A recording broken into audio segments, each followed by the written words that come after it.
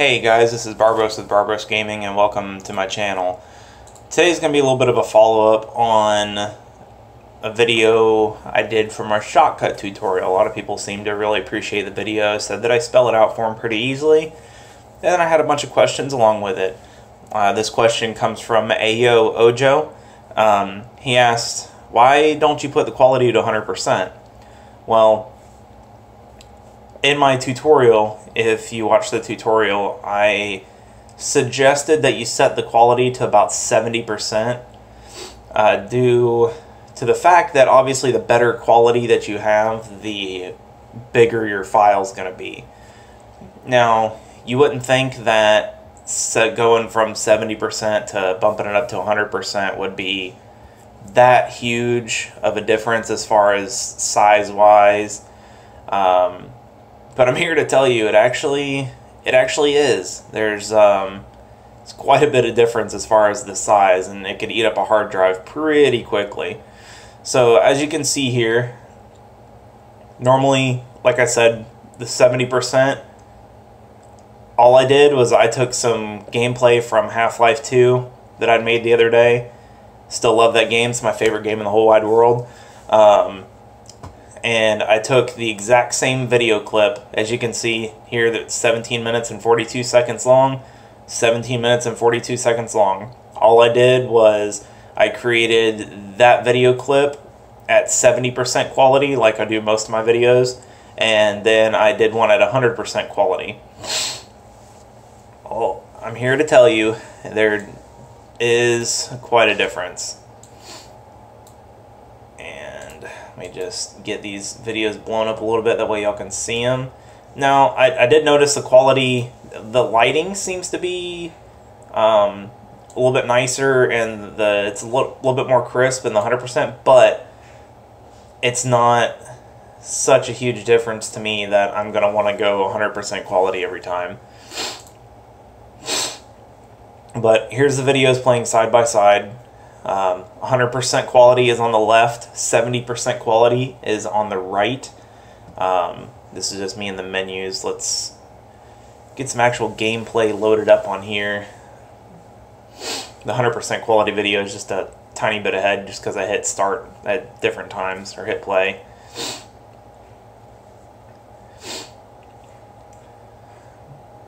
I was actually got quite curious about that myself after after it was asked, I'm like, yeah, you know what? I'll, I'll make a video on that.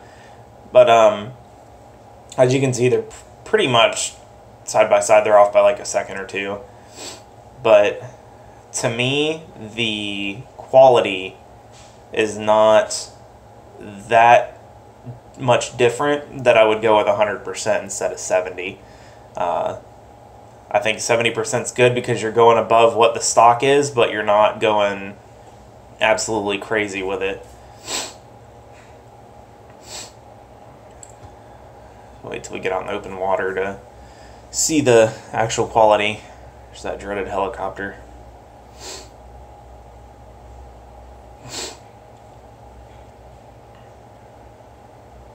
If you've never played Half-Life 2, you have no idea what you're missing out on. Go pick it up, please, please, please. It will change your life. But now to the to the naked eye, I'm really not seeing, you know, a lot of a lot of difference in the quality. It's pretty close to the to the same in my opinion.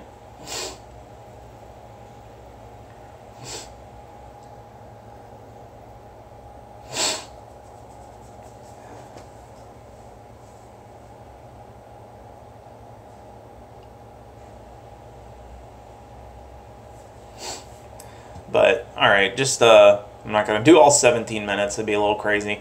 Um, but as you can see, 70% to 100%, really, my opinion's not that big of a difference. Um, where the big difference is,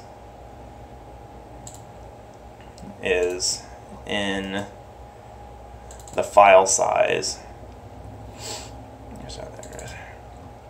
All right, as you can see, 70% quality, 100% quality. All right, here we go, guys. Ready? This is this is huge. 70% quality. This video is only 2.03 gigabytes in size. The 100% quality is 9.5 gigabytes in size. That is the size of some games. That is like three of Half Life. That is actually okay, maybe maybe two and a half, but still, that is that is huge for not that much of a difference in quality. I just I don't know. I just I don't see it being worth it unless you've got like unlimited terabytes of storage to where you just want to run 100% quality on everything. To me, it's not that worth it unless you just have something you need to be extremely detailed. But like I said, you, you saw 70% right next to 100%, and there really was not that big of a difference.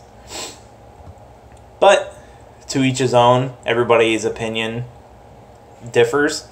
Um, it's, it's why they're opinions. But um, again, 70% quality, 2.03 gigabytes for the exact same video, but the quality bumped up 30%. That's crazy. It's crazy, guys. It's over four times the size of the video of the 70% quality.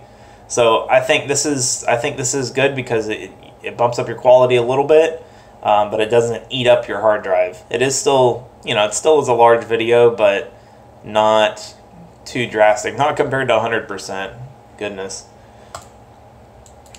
But anyways, this is a like I said, this is a user request video from Ayo Ojo.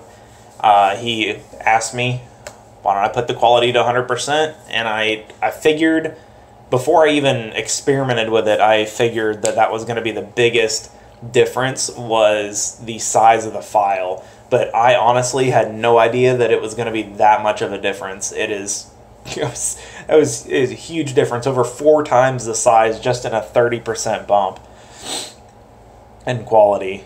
But um, yeah, that's it's just crazy. I I never ever ever ever would have thought it would have been that much of a difference. But anyways, guys, I've gotten some pretty good responses on my Shotcut tutorial. Um, if you have any questions or you want me to, if you have any user request videos, you want me to do experimenting with Shotcut, that way you don't have to, I would be more than happy to make those videos for you. Just let me know what you want. Drop it down in the comment section on this video and also, don't forget to click that subscribe button if you enjoy my content. And also, don't forget to give the video a like. Go check out the rest of my videos. I do a little bit of everything. Uh, I'm going to be doing a couple more product reviews soon. I did a product review on the Redragon Centrophorus gaming mouse.